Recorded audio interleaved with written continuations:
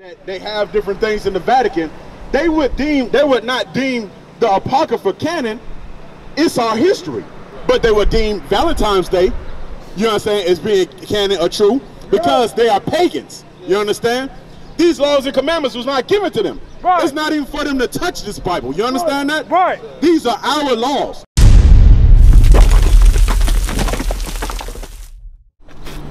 At ease. Shalom, Israel. We're Israel united in Christ. You so-called blacks, Hispanics, and Native Americans, you are the Israelites according to the Bible. That's right. Right? This Bible is your book. This Bible is about you Right. and what you need to do to get salvation. Because destruction is coming. Uh, 2 Peter chapter 3 and verse 10. Bring it out. Destruction is coming to this place. And you brothers and sisters need to know that you are the Israelites. You need to know what's necessary for you to escape the fire. All right? Come on. The book of Second Peter, chapter 3 and verse 10. Bring it out. But the day of the Lord will come as a thief in the night. All right, so the day of the Lord is going to come as a thief in the night. Let's get, uh, hold that. Let's get Sirach, because that's uh, 5 and 7. The day of the Lord is going to come in it like a thief in the night. And a lot of y'all brothers and sisters think you got time. You think, you know, it's okay. All right, well, I'm not, I'm not going to repent today. I'm not going to keep God's laws and commandments tomorrow. Yeah. But I'm to wait till next week. I'm to wait till next year after I get my tax money to make sure I get all my fringes on all my stuff. Out. That's foolishness. You might not have the time. All right? It might the most high might pull your card that day, that week, that year that you decide you want to go ahead and keep God's laws and commandments, and now you're finished. Right. Death has come before you before you even get to the fire. Go. Ecclesiastic is also known as Sirach, chapter 5, verse 7. Uh-huh. Make no tarry to turn to the Lord. Make no tarrying to turn to the Lord, black man, Hispanic man, Native American man. Come on. and put not off from day to day. and don't put up from day to day. All right, we understand that you got to weigh the matter. All right, there was different organizations uh, come, but right here we're not an organization.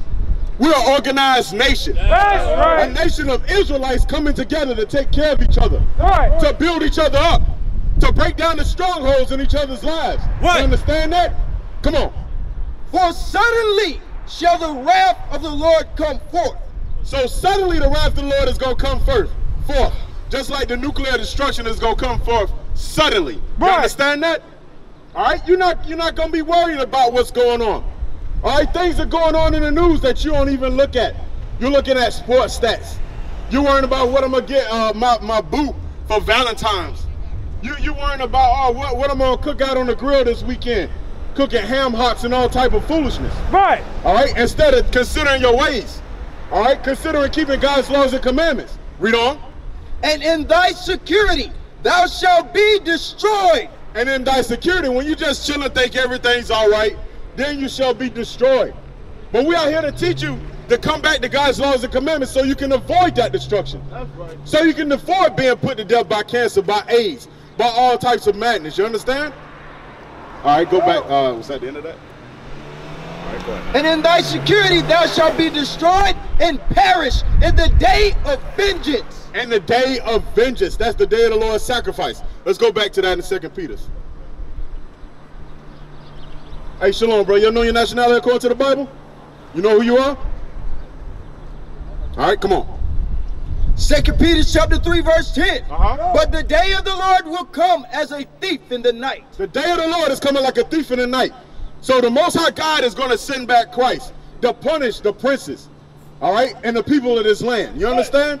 They took us into slavery on slave ships. You think he's not going to come back and take care of his children? All right? If you had children, brother, you got children? You got children? I got children.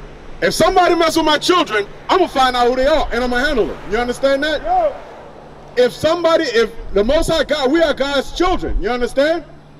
So the Most High God is coming back to avenge his children. That's the day of vengeance.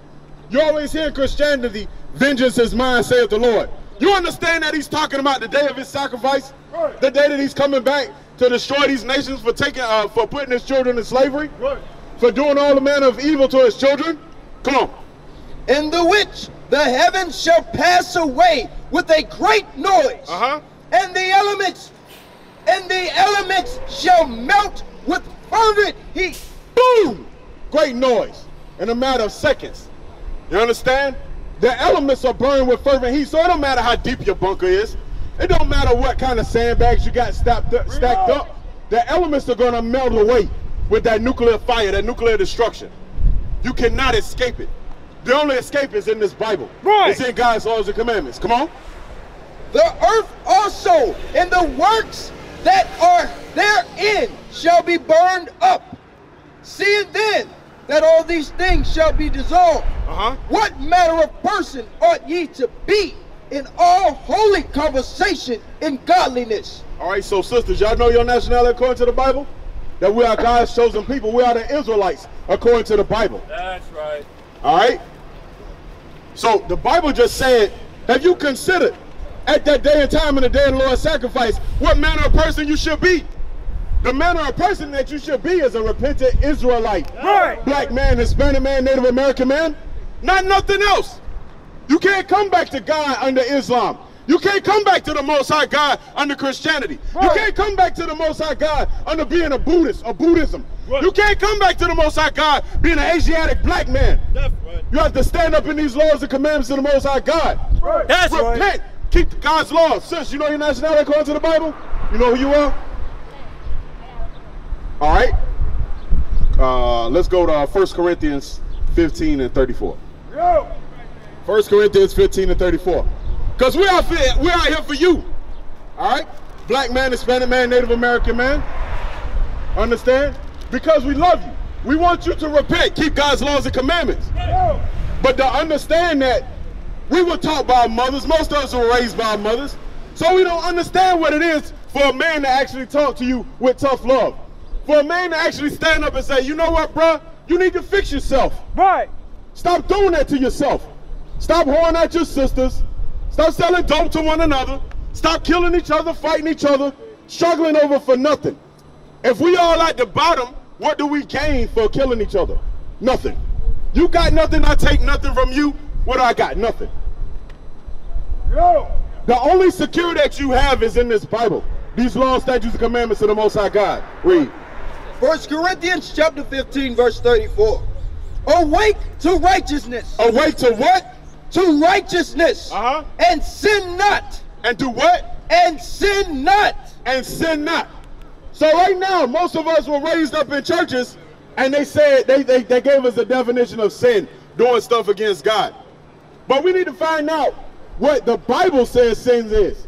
Because most of the time your Christian pastors, they're not gonna go to this Bible and tell you what sin is. They're not gonna go to this Bible and show, hey sis, you got a pantsuit on in shirt in church, you in sin. Right. Hey sis, you pregnant without a husband, you in sin. Brother, you sleeping around with that sister and you didn't marry her, you in sin. Right. You understand? So it's certain things that we're supposed to do. We're gonna find out what sin is according to the Bible. Come on. First John chapter 3, verse 4. Bring it out. Whosoever committeth sin, transgressive also the law. Whoever commits sin transgress the law of God. Come on. For sin is the transgression of the law. For sin is the transgression of the law. Brother, you know your nationality according to the Bible? You know who you are? You know that you're special before the Most High God. Hey, Shalom, bro, you know your nationality according to the Bible? You know your nationality? What's your nationality? Don't know. You don't know? You know that's prophecy in the Bible? If you have a moment, brother, what's your name? Check it out. Reggie. Reggie, I'm Yehonatan. I'm Abner. All right, good to meet you, bro. All right, good to meet you as well. All right. So we're gonna find out. We're gonna find out if the Bible ever said that. All right. Come on. Isaiah chapter 1, verse 3. Bring it out. The ox knoweth his owner, and the ass his master's crib. So, brother, what's your name again? Reggie. Reggie. Reggie. We're gonna read this again. All right. The Most High God is pointing out two animals, Reggie. All right. Come on. Isaiah chapter 1, verse 3. Uh-huh. Bring it out. The ox knoweth his owner, Uh-huh. and the ass his master's crib. Now, Reggie, let me ask you something. Is an ox or ass smart animals? An ox, an ox like a cow, right? Pretty much. Right. Cows, most of, they, they're led to the slaughterhouse constantly, There right? you go. They're not smart. You understand? Really. And an ass, you you load that thing up for burdens, and he just do the work that you tell him to do. You understand? Okay. So these are two dumb animals. These animals are not intelligent. You understand? No. They just do what they told to do. You understand? Correct. All right. So it says the ox knoweth his owner, and the master's master's crib. So even though that they are dumb, an ox knows who his owner is. You understand? He knows where he belongs. And an ass is master's crib. He know where he lives at. You understand? He know where he originates from, where he's where, where he lays his head at, where he rests. You understand? Right. All right, come on.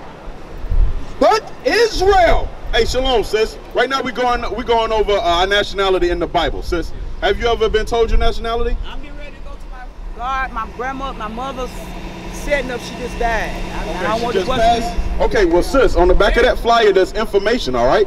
It goes over your nationality, 12 tribes of Israel, all right? And also on that website, tons of information I'm and an computer- I'm address. computer illiterate. I let my You're computer illiterate, but you can I read ain't that. dumb, but I'm Right, right, right. I understand that. Right. But you can read this flyer and go over it with your Bible open, all right, to see if everything is true in there. You understand? Okay, I got you. And then you call that number, all right? And be blessed. All right, you, you call that number and you can come to the class, all right? Okay, baby. To find out your nationality, all right? So Reggie, you with me? All right. So these two animals, they they know who their owner is and they know where they come from, all right? Come on. the ox know of his owner, and the ass his master's crib. Uh-huh. But Israel, But, but who? but Israel Uh-huh. does not know. My people does not consider. So our people don't even know who they are. They don't even consider. The so-called blacks, Hispanics, and Native Americans. Reggie, you see the sign? You see the sign? Your blacks, Hispanics, and Native Americans. These are the names on on this side that they gave us. You understand? They gave us these names. You understand? But it's not who we are. All right? It's not our nationality. You understand that? All right. So, hold that. Let's get Psalms 83. Uh, I think it's around verse 3. All right. So, Reggie, the thing is, is that we don't even consider that we may be the children of Israel. Do you understand? No. We're happy to be other nations because the white man say you can still get in under his doctrine. You understand? As a brother brought out uh, uh, earlier about uh, the Bible, you understand that they have different things in the Vatican. They would deem, they would not deem the Apocrypha canon. It's our history, but they would deem Valentine's Day, you understand, as being canon or true because they are pagans. You understand? These laws and commandments was not given to them. Right. It's not even for them to touch this Bible. You understand that? Right. These are our laws. They help us govern ourselves. Reggie, you understand that? All right. So come on. Is that what I want? Um, um, all right, come on. Psalms chapter 83 and verse 3. They have taken crafty counsel against thy people Uh huh. and consulted against thy hidden ones. All right. So they consulted against us, Reggie. You understand? That's who, why we don't know who we are. Because the right, the so-called white man is like you change our names. You put us in the cap sliver, captivity, all right? Put us into slavery, all right? Transatlantic slave trade. You understand? Put us into slavery, change our names. Not only your so-called blacks, but your so-called Hispanics too. You understand? Right, right. Your, your, your, your so-called Mexicans, Cubans, those from Argentina, uh, uh, Brazil. You understand? So those are our people as well. You understand? But they change our names. You understand? So that's that's. You ever heard the term Reggie? Reggie. Yeah. All right. That, all right. Good. Good. So man, hopefully, man, you can share this with him later, man. You understand? But but check this out, man. Check this out, Reggie. So they change our names, right? They it's like they divided us into groups. You understand? So that we can continue to be separate. All right. Read that scripture again. They have taken crafty counsel against thy people. Hey, brother, you know your nationality according to the Bible? We're going over scriptures right now showing your true nationality. All right. So what would you say you are that your nationality is or your ethnicity? Blessed, bro. You blessed? That's not a nationality or ethnicity. You understand? That's life.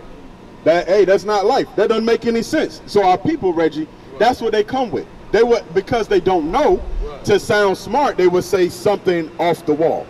You understand? So it's like a lot of times, Reggie, we might get Christian, Muslim, we, we might get Jehovah's Witness or something strange, an Asiatic black man, because they don't know. You understand? I'm not smart. So, all right, brother, brother. The thing is, the thing is, is that that's what our people say. Hey, bro, what's your name? I'm Jack Quest. Jack all right?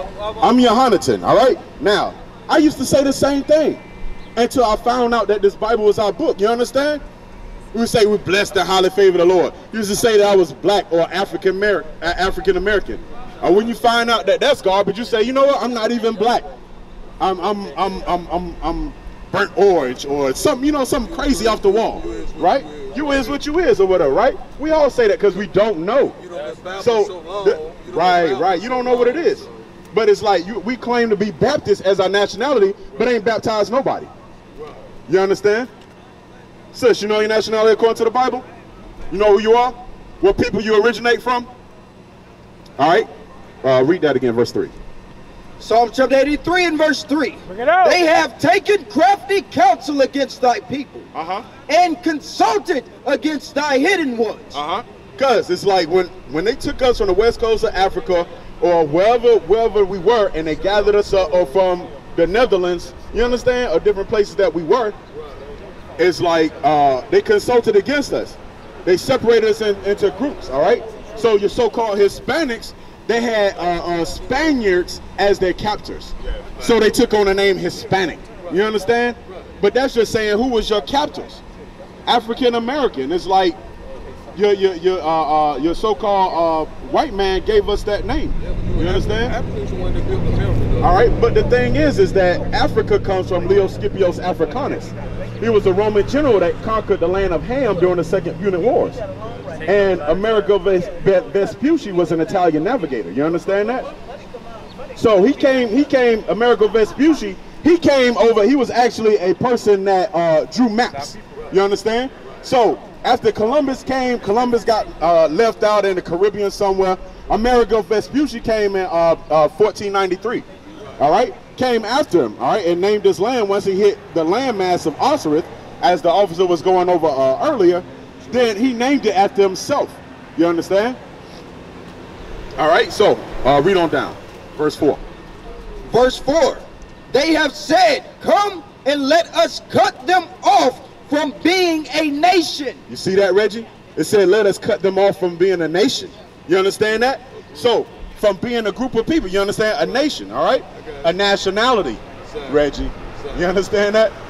So, your so-called, uh, uh, your black, your so-called black tribes separate you from the Hispanic tribes, the Native American tribes, and put you into different groups. Yeah. They said, hey, let us all come together and cut them off from being a nation. All right, come on. But it's a reason behind that, Reggie. Come on. That the name of Israel may be no more in remembrance. They didn't want you to know that you were the Israelites. Right. They didn't know, want you to know that you were the children of Israel, Reggie. All right, come on. For they have consulted together with one consent. You understand? And they all agree on this thing. That's why they're not going to come and tell you. We're not waiting on the uh, so-called white man to tell, hey, hey, well, by the way, you're the Israelites. You're actually the rulers of this world. And you're supposed to be running everything. You're supposed to be governing this planet and making sure everything gets a, uh, uh, a, a time of rest. You understand? They're not going to tell us that. Yo, my man, this.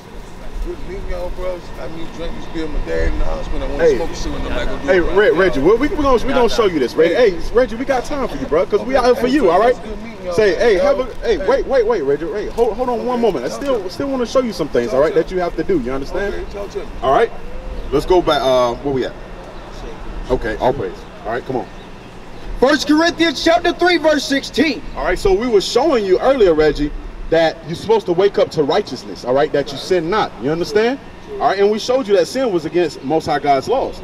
All right, so we're going to show you something in this Bible, all right, which is God's law book. All right, is is a holy book or called law book. All right, come on.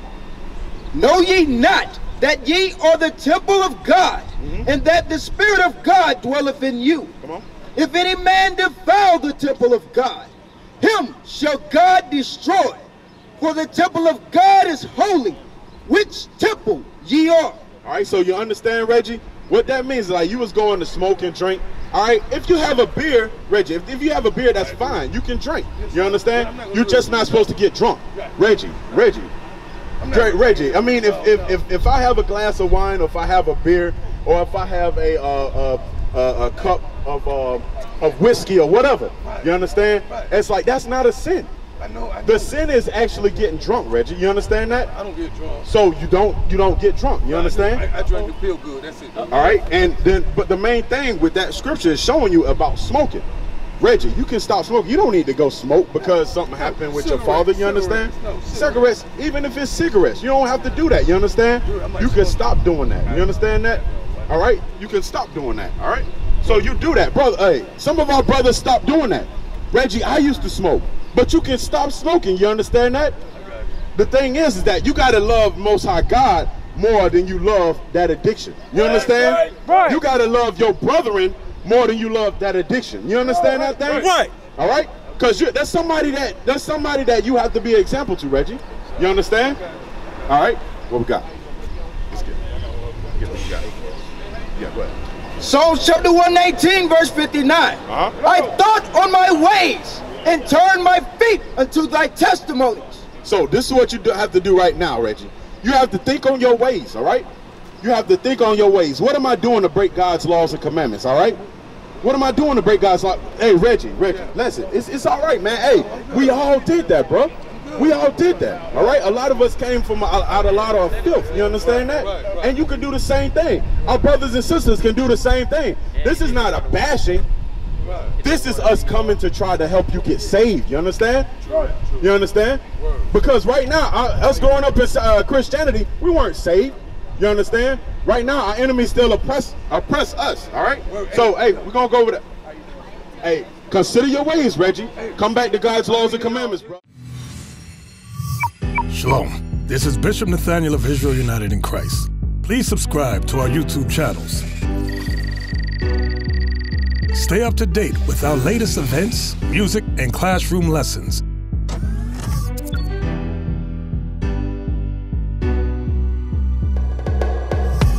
IUIC plans to continue visiting different countries where this gospel has not been preached before. IUIC needs your help in pushing this truth.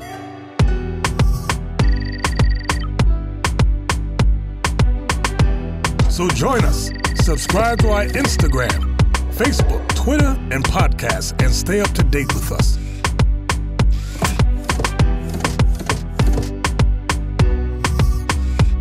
For more information, please visit www.israelunite.org.